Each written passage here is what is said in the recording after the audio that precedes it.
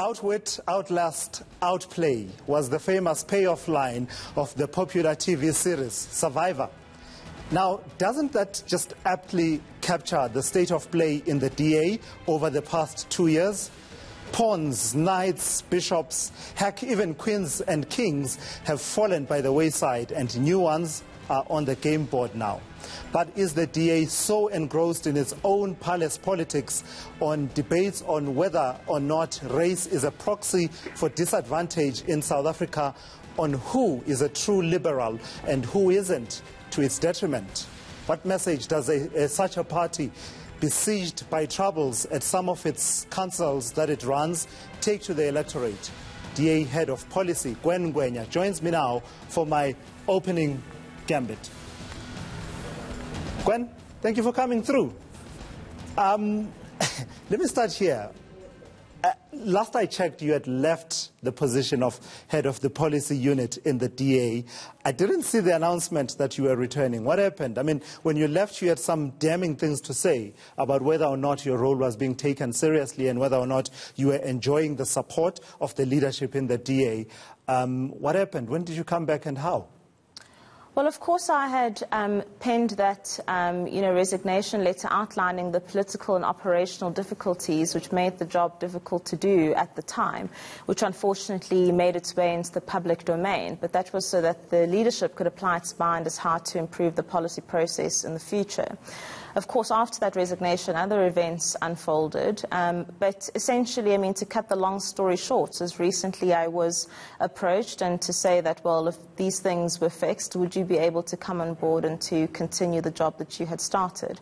And I've always been, you know, um, very eager to contribute to the South African political um, you know, landscaping in the way that I can. And so, given the opportunity and space to do so, I, of course, was willing to, um, to make myself available. If you believed the previous leadership did not take policies seriously, the change of leadership, I assume, uh, was a big factor uh, in your decision to come back.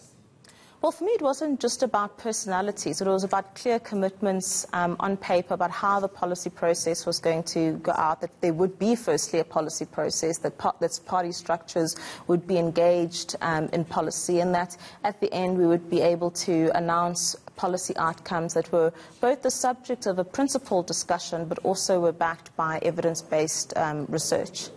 So today you released your discussion document ahead of your policy congress in April, um, and in it you focus on the values of the DA. And a lot of people don't understand.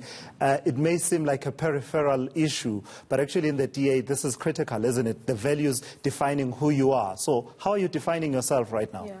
Well, just to step back a little bit, I would think this is important to the country at large. You know, any political party that wants to make an offer to the people of South Africa has to be able to say these are the values and principles principles against which we hope to measure ourselves and that we invite you also to hold our conduct accountable um, against, and also from which to use the point of departure for any future policy positions, because that is what guarantees policy coherence. When you say that you are com- committed to X value, and then your policies clearly flow from those particular, um, you know, value foundations. So what we've released today is uh, largely, I would call a reaffirmation of the DA's values and principles, because it has always been a values-based party. But it's important before you engage in a policy uh, process to almost do a kind of sanity check to say, right, these are the values that we hold dear? Are we on common ground or common understanding as to what each of these terms mean? Because I guarantee you now, every party in the political landscape uses words like non-racialism, right? But do they ever define them? Does, does you know, when, when one person or one politician use that word, does it mean the same thing as when another politician? I don't think so. So I think it's quite important to state quite clearly what yeah. we mean by these particular. So into that mix, you add such things as constitutionalism and the rule yes, of law, social um, as, as, as, social market economy economy. That was an interesting one, um, as opposed to you stating it as a free market economy. Is that yeah. well, conscious decision, or that's a very is, conscious... is it just you know a, a better phrasing for you? It's a very conscious decision because the concept of a free market economy implies that it's completely kind of hands off and the market must just, um, you know, just have this um, um, completely just market based approach. Whereas we fundamentally do believe that government has a role to play, but that role is defined and limited. the extent of government invo- involvement in the private sector should be, in fact, to enhance how the market economy mm. works, which is to promote open uh, markets and to promote competition, not to hinder those things. And quite often, when government has got involved in the economy, it's to hinder competition and, and open markets as opposed to enhance them. So, when you're hearing that there's talk of the possibility of um, government you know, moving in the direction, as was announced by Gwede Mantashe, of a separate generate, a power generating company uh, outside of Eskom, perhaps working with the, uh, the private sector. How does that land with you? In I think context? that absolutely defies then the values of social market economy because, uh, particularly in cases where you don't want to get involved, are cases where um, the market can probably fulfill that role better.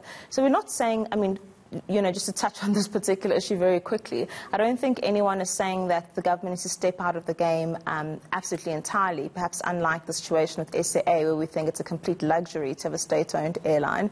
In the case of, um, you know, electricity and energy, there perhaps is a role for the state to play, but there certainly should be much greater involvement of independent um, players in that space as well. So I don't believe you were surprised, though, that in as much as you wanted it to be about the values and uh, principles discussion document, document. Uh, your media briefing ended up moving far along uh, into, into the next set of documents you'll be releasing and the whole issue around economic justice policy, which is what you, you are terming it. And it's a debate that's been raging in the DA. So you said something at the briefing that I found quite interesting around this debate that's been raging about whether or not race is a proxy for disadvantage in South Africa. And that's been raging in the DA for a while. Before I throw this to you, let's take a listen to what uh, the DA's uh, Federal Council chairperson person, Helen Zille, had to say about that uh, a few months ago as she was making her comeback into politics. Some people say race must be a proxy for disadvantage. Others, other of us say no, disadvantage doesn't need a proxy. You can measure disadvantage. So disadvantage can be measured in and of itself using race as a proxy for disadvantage has always led to the empowerment of a few politically connected people, leaving the vast majority of disadvantaged people behind.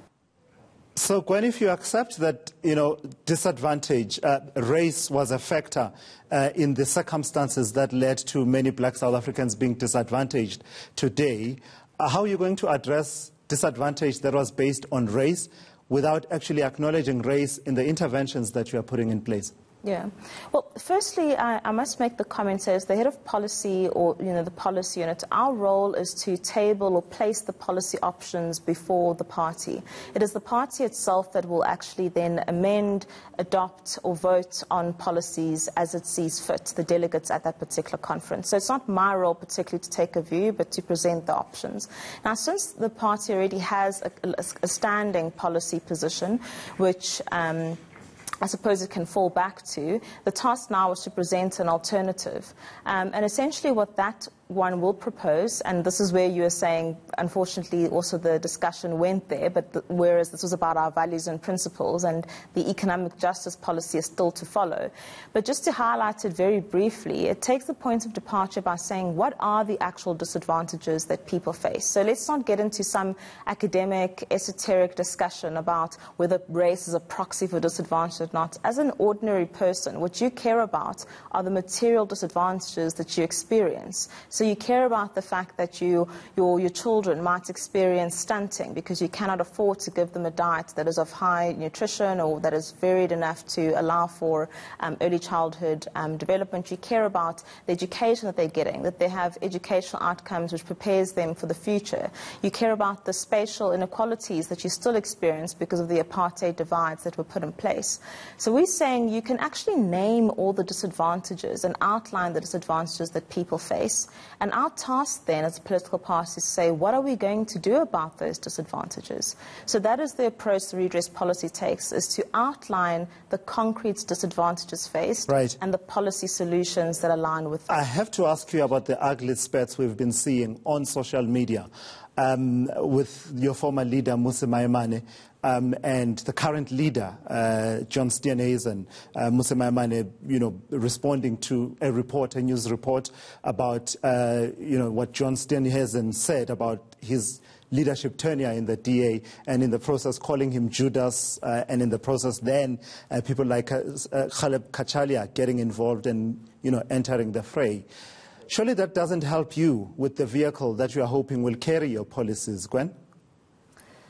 Well, you know, my view of these things is that at the end of the day, I think you know, whether it's um, you're talking about Maimane or you're talking about, um, you know, the current interim leader, we're all just people who believe that we have a vision that has something to offer South Africans, and the role is just to put that before South Africans and let South Africans choose. So it's not my role to disparage, you know, one person's approach to that. So I'm not going to, um, you know, almost yeah. But you did say that Maimane caused policy confusion in the DA. No, I did not. In fact, I, I try to very rarely respond to um, such provocations on social media and to kind of be above the fray. But that one was important for me to clarify to say that that in fact, that headline had no relationship to the actual quote itself. So it was a reporter who, in fact, said, the former leader of your party left due to policy uncertainty. And I set them straight and I said, no, he did not leave because of policy uncertainty, which he would have been responsible for as the leader. He left due following a report uh, right. uh, of that review panel. Gwen? So those are not my words. Thank you. Thank you for coming through. Uh, I'm completely Pleasure. out of time. Gwen Ngwenya is the head of the policy unit in the Democratic Alliance. Next, in the state of play, Advocate Moses Kakane talks to me about representing clients deemed by some to be rogues. It may be part of his professional obligation, but as, you, as you'll hear from him, he tells me there is actually a set of principles that underpin why he does what he does.